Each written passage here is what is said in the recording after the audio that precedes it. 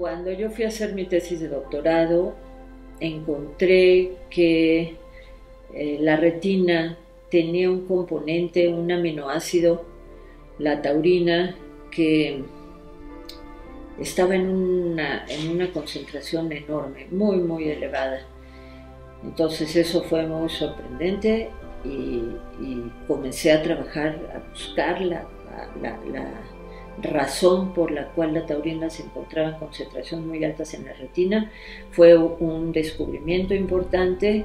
Eh, publiqué ocho artículos sobre ese tema que formaron mi tesis de doctorado con ocho artículos y en ese momento pues y gracias a ese a esa digamos, a esa posibilidad de publicar esos artículos, se empezó a interesar la gente en la taurina, decir por qué está en esas concentraciones tan altas. Se encontró también en el cerebro, también en el corazón, y era difícil entender por qué eh, un aminoácido que es relativamente inerte estaba en esas concentraciones tan altas. Bueno, yo perseguí ese problema durante muchos años. Entonces se me ocurrió que al igual que como pasa en algunos peces y algunos animales inferiores, eh, podría estar sirviendo como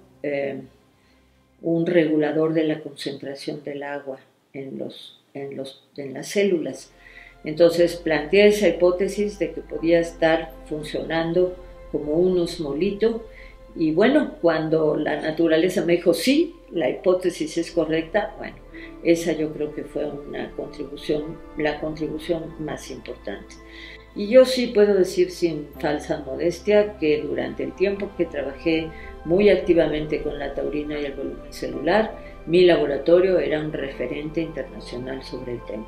Entonces yo creo que eso es importante para un país como México, para, para que se vea que podemos trabajar y contribuir a la ciencia. A veces yo sentía que, bueno, que comprar un aparato carísimo en un país en las condiciones de México, pues me daba un poco de, de mala conciencia, pues. Pero cuando yo iba a un simposio de volumen, iba a todos los que se organizaban, invitada como conferencista, y ahí estaba mi nombre, México UNAM, yo decía, vale la pena, pues es algo que, que, que pone en el contexto universal a la universidad y al país, entonces no debo tener esa mala conciencia, sino seguir adelante en, haciendo esa investigación. Y bueno, afortunadamente desde que yo empecé a trabajar hasta ahora, la investigación en México ha avanzado muchísimo y nos pone, eh, digamos, en condiciones de estar al día, de comprender y de contribuir a los avances no solo en investigación básica, sino en aplicación de la ciencia. Entonces yo creo que me tocó vivir un periodo muy interesante de, desarrollo de la ciencia en el mundo y de desarrollo de la ciencia en México y en la UNAM.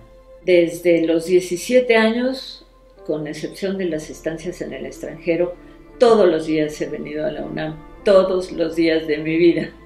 Entonces he pasado más tiempo activo en la UNAM que en mi casa con mi familia, porque pues las horas de trabajo, las horas de estudio. La UNAM pues es la institución, digamos, emblemática de este país. Eh, ahora afortunadamente pues ha habido mm, dispersión y creación de muchas universidades, pero una gran parte de los investigadores que trabajan en las universidades de los diferentes estados de la República han sido investigadores formados en la UNAM. Yo creo que los grandes maestros de ciencias y de humanidades pues son los maestros de la UNAM.